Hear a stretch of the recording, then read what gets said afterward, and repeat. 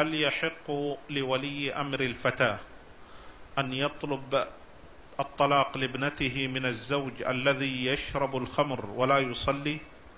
نعم إذا كان لا يصلي يعني يترك الصلاة نهائيا لا يصلي لا وحده ولا مع الجماعة يترك الصلاة نهائيا فلا يجوز أن تبقى معه المرأة المسلمة.